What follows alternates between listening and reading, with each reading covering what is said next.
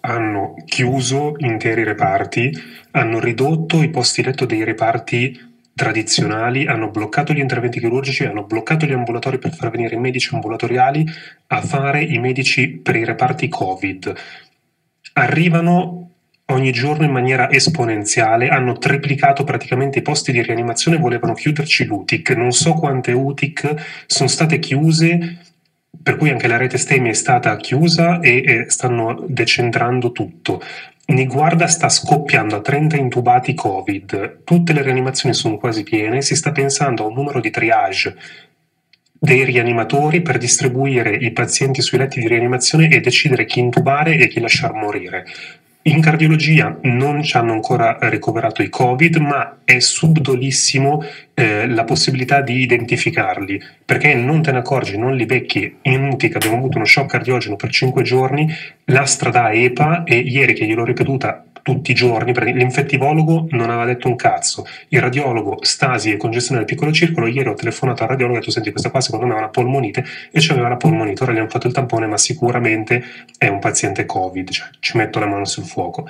E non si riconosce ma soprattutto voi non avete idea, non lo dicono in tv, quanti giovani, per, per, giovani intendo anche ventenni, richiedono la CPAP e hanno delle polmoniti orribili e non hanno comorbidità.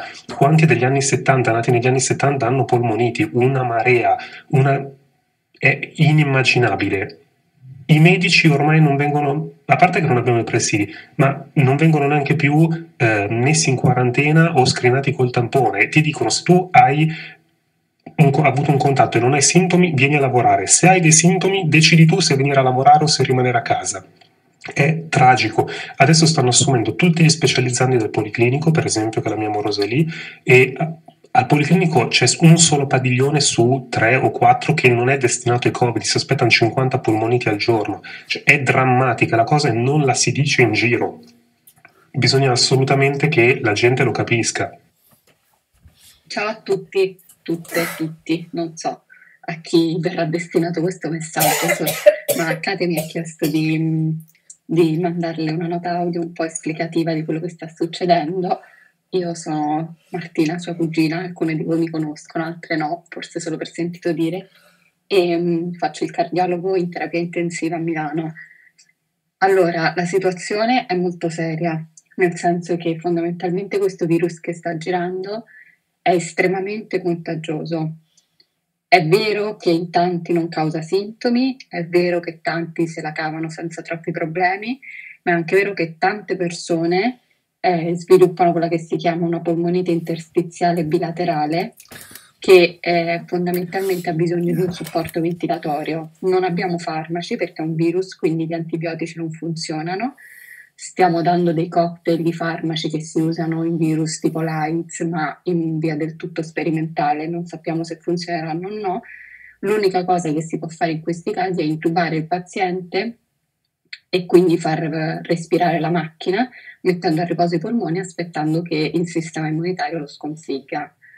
È vero che quelli che muoiono sono spesso anziani e con copatologie, ma ci sono anche tanti giovani in terapia intensiva il nostro più giovane ha 38 anni e non aveva altri eh, problemi. Il problema vero è che ehm, tanta gente ha bisogno dell'assistenza ventilatoria e non ci sono ventilatori per tutti. Eh, già ieri nel mio ospedale mi hanno chiamato, io sto nella terapia intensiva cardiologica, chiedendomi di dargli eh, uno dei nostri ventilatori, ne abbiamo solo due rimasti, e io gliel'ho dato e una paziente che era stata estubata il giorno prima e quindi in questi casi normalmente si tiene il ventilatore lì vicino perché a volte vanno in crisi e devono essere rintubati, se questa va in crisi eh, il ventilatore non c'è.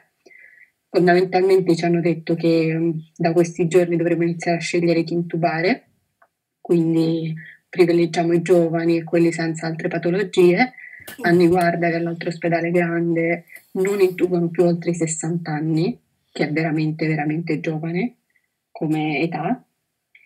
Per cui la situazione è molto seria, molto contagioso, 14 giorni di incubazione, quindi se anche una persona se l'è preso, sta 14 giorni completamente asintomatico e può infettare un numero incredibile di persone, per cui il concetto è che l'unico modo per non avere un'ecatombe è far sì che ci siano meno contagi possibile e che qualora ci dovessero essere fossero il più possibile dilazionati nel tempo in modo che, perché se io ho 10.000 persone infette tutte allo stesso momento, noi abbiamo 3.000 ventilatori in Italia.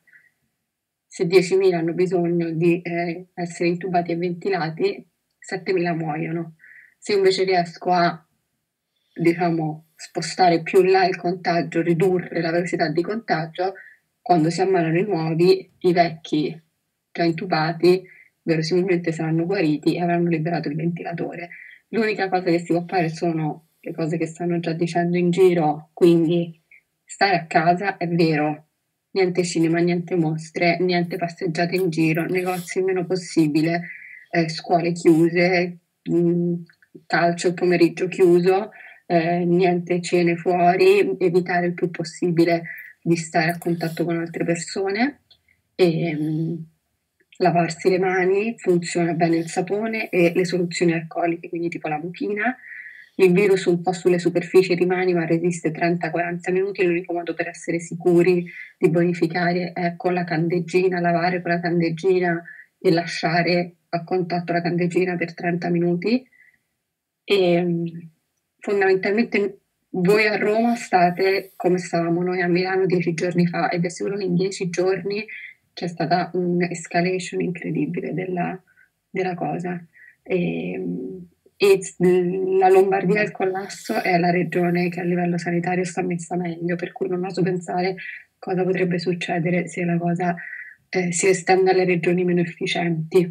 Um, per i bambini non ci sono casi gravi, alcuni bambini sono positivi, ma tendenzialmente, come con tutte le virosi, tipo varicella, morbillo e quant'altro, tendenzialmente, anche se se le prendono, sviluppano una forma molto meno aggressiva dell'adulto. Però sono degli untori pazzeschi, perché magari il bambino se lo prende, non sviluppa sintomi, va dai nonni, uccide i nonni fondamentalmente. Quindi anche lì cercare di limitare il contatto bambini-nonni. E quindi senza farsi prendere dal panico, però non è una cosa che va sottovalutata.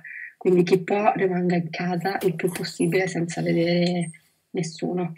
E niente, poi se avete domande, dubbi, perplessità, io sono qui e continuo ad andare in ospedale e, e niente, vi aggiornerò tramite Kate sulla situazione.